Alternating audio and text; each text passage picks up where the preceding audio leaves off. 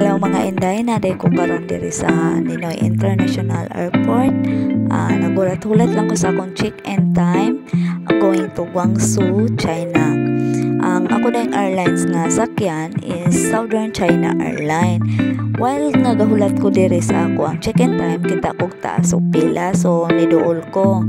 As kang taas sa Judayang pila samtang nga gapila ka na mo nga staff nimo i-ask kanila kung nana kay health declaration. Karon boarding time na ko ang health declaration di ay is needed na siya dito sa Guangzhou, China.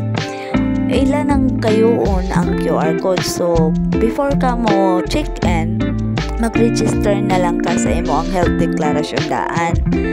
Para nga di na ka ma-stress karon padulong ako diri sulod sa ilaang plane o makita sa ninyo nga mo nilang plane. Nindot man po dili po siya ingon nga gamay. Sakto-sakto lang. Ang ako na yung biyahe is 2 hours kapin nangita lang ko sa akong seat dire mga day. Karon nakita na dyan ako.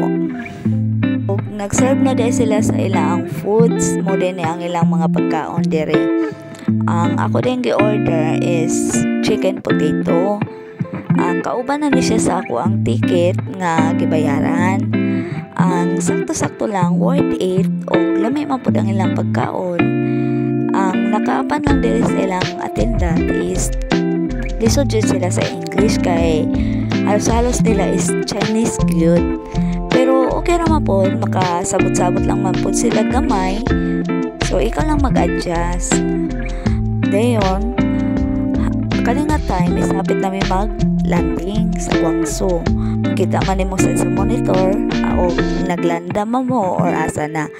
Karon landing na sa Guangzhou, China. Mo nilang airport dire. Inignaog mo sa plane na mag-atang tugana kanila kung asa ka nga dalan mo straight sa mga uh, connecting flight or sa exit ilala katuganan kani galakaw na ko padulong dito sa exit.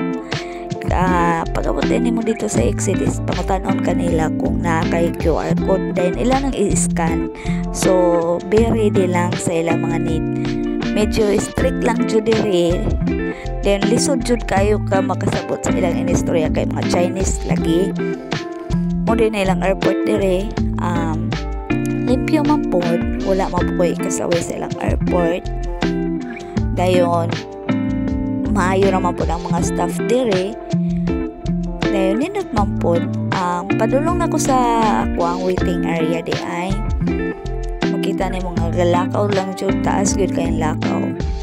Mo ni ang waiting area di ay sa mga next flight. Unsa pay gihulat see you